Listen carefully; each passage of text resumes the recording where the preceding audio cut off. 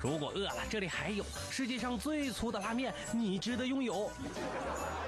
姑娘，不好意思，我可能是饿晕了，因为你这头发是红烧牛肉味儿的。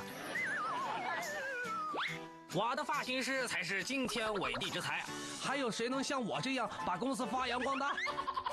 大哥，你这么敬业，老板知道吗？哼，谁都别想和我抢饭碗！喂喂喂，前面那位演员，再往中间走走。灯光、道具、音响，准备，action！我说这位考拉，你不每天老老实实的睡觉，这么辛苦工作做什么？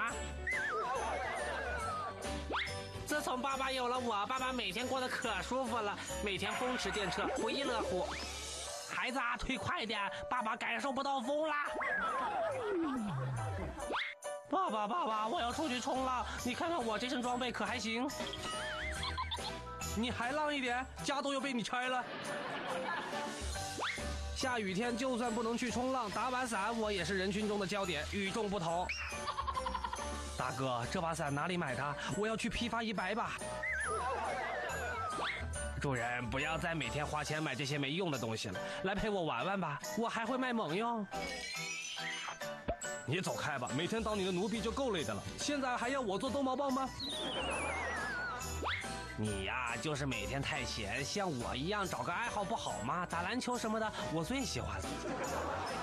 早知道你这么多才多艺的，我就应该让你去参加 NBA 选秀。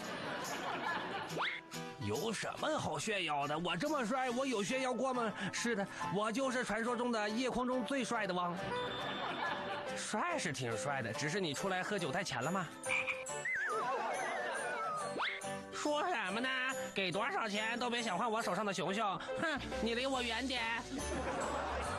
猫咪听话，把小黑熊给我，我有糖果给你吃哦。如果糖果是这样的，那我还不如不要，简直太难看了。你还是尝尝吧，不好看，说不定挺好吃呢。